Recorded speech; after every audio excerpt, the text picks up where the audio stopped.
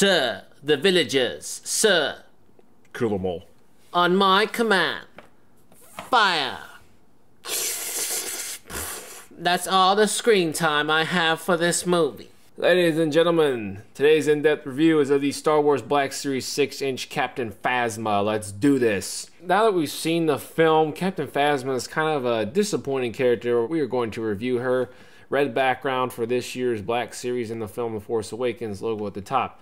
Picture of the badass Captain Phasma right there on the right, along with right there Captain Phasma. She is what a Wave Three, number six Black Series character on the left side. You can see the window. You can see her there, Captain Phasma. Phasma in big gray letters, oversized.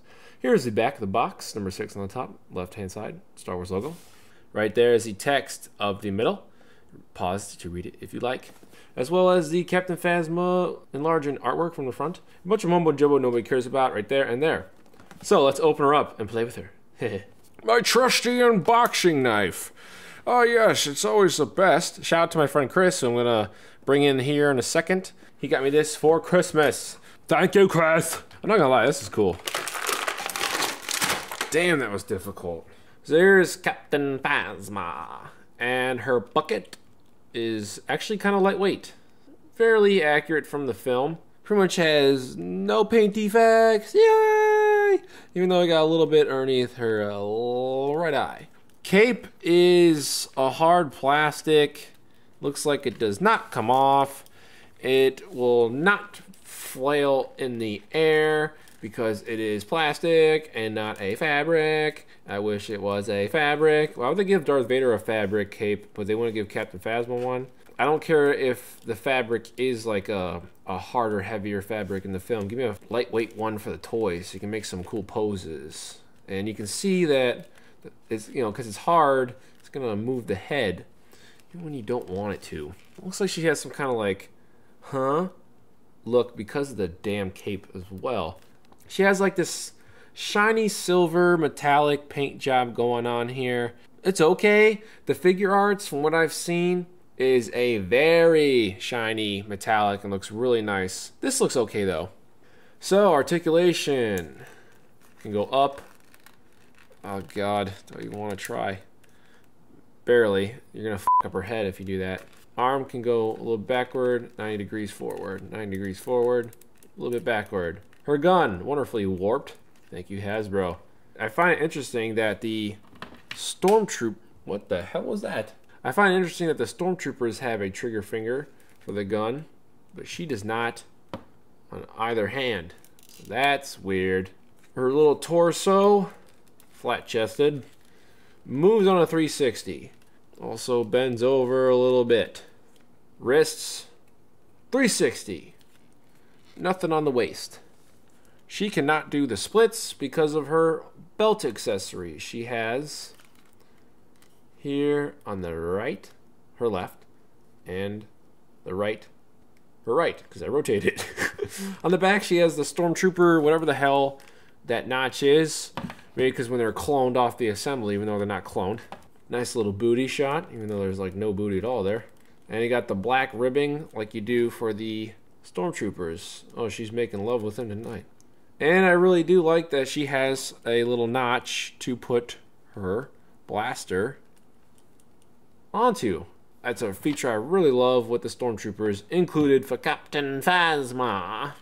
You can see the detailing of this figure is pretty nice. Shoulder caps, bicep guards, the gauntlet. Looks pretty much just like a Stormtrooper's gauntlet, to be honest with you.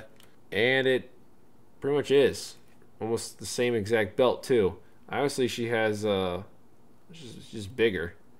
She's just a monster. You got holes for the articulation of the knees. Let's test them out. Everyone just loves to go all the way back for these Black Series knee articulations. I say for some reason she needed a little break-in period on this left leg. I didn't want to go back all the way. There she is going down. I shouldn't have said that. Feet. Ooh, a lot of articulation for the feet for some reason. Tiptoeing in my Jordans. I'm staying fresh. I forget the lyrics of the Jordan. She cannot sit down because of her belt. Just about as much leg articulation forward, so she really can't sit down. So just one of these things. So there she goes. She's sitting down. She's drunk in the corner of the bathroom. Oh my god, I had so many beers. Can she sit down? Uh, barely. It's because of the damn belt here. This this figure is uh kind of disappointing. I'm assuming Revoltech is gonna bring a far better figure. You can see right there, the belt accessory is bending. Right there, looks like a little stick of butter. You took it down there, and there it goes flat. Interessante. You have your boots. It's like a two-layer compared to your standard Stormtrooper. And a cooler shoes. They look more like a dress shoes. They look legitimately like a Michael Jackson shoe type of deal.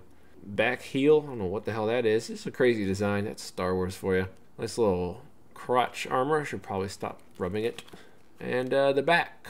I'm not going to pop the head off to look at the cape. But uh, this figure kind of disappointing. The best part is the damn gloves. They look cool. Some kind of like Rocky Balboa MMA type deals going on there. I don't know. Maybe an episode 8 should be as badass as everyone thought. It should like knock some motherfuckers out. So you can see how chrome and shiny the silver for Captain Phasma As You can see even how the artwork shows she has this cape that flies, and here obviously not. Compared to the three and three quarters inch, it's nothing like what's there at all. And here is the six inch, which is usually superior.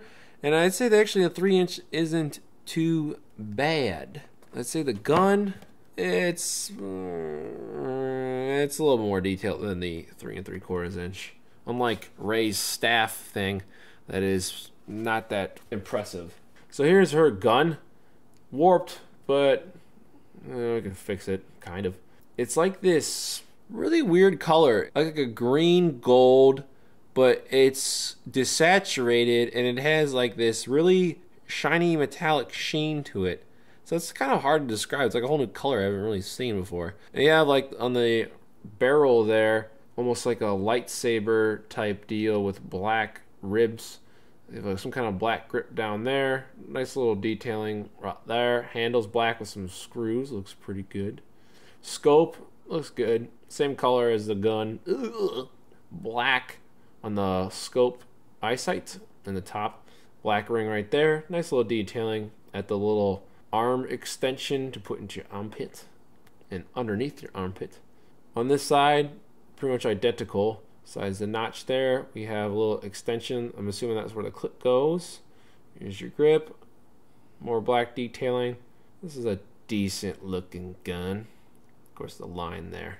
On the bottom, we have the trademarks of the Hasbro as well as the pegs you can put inside of any kind of stand you might choose. Phasma's a goddamn monster. Phasma is taller than everyone. Poe, Rey, Finn, regular stormtrooper, even the second tallest, Kylo Ren, she towers over him by at least I would say five to eight inches in human scale. She's just huge, which is a great intimidating presence, not really felt in the film, as I'll demonstrate. I'm in charge now, Phasma. I'm in charge. I'm not gonna lie, this Captain Phasma looks really great in box. Out of the box, it's a little disappointing. So, I'm going to flip it to my friend Chris, the residential Star Wars expert, to get his opinion. Take it away, Chris. Okay, so pros first. Uh, for the most part, she looks incredible. It's a very accurate sculpt of her armor and her body, and I also like how they did a good job of making her taller than the other ones because she is very tall.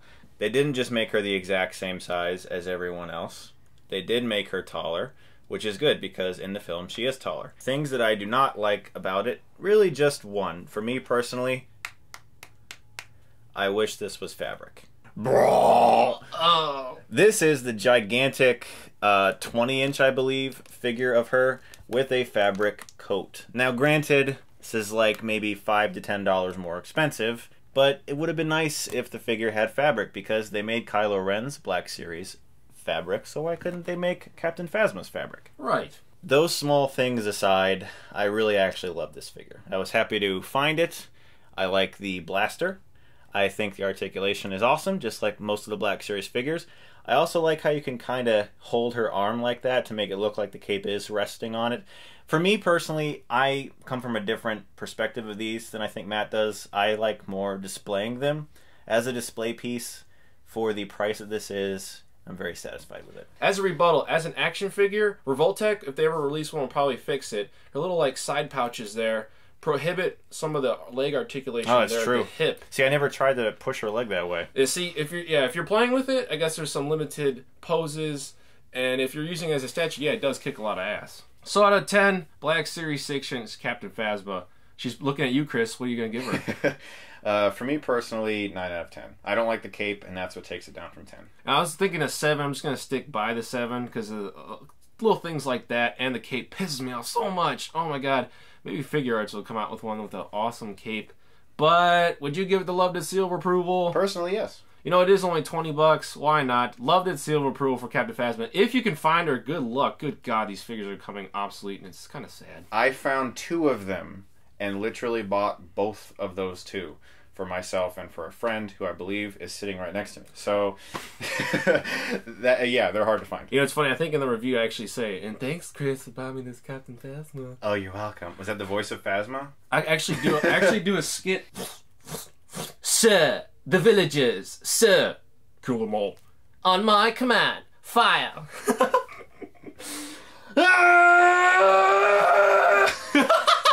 Thanks for watching. Uh, fucking have may the force be with you. and there's the bottom. Got some screw holes. You're gonna have probably a couple screw holes here. Probably in the back of the arms. There's one for the jetpack. It really sucks. But to get to the battery compartment, Holy shit!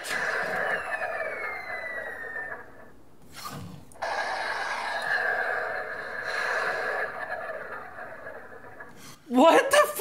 That's great! This just went from like a 6 or a 7 to a solid 8, probably. Holy shit!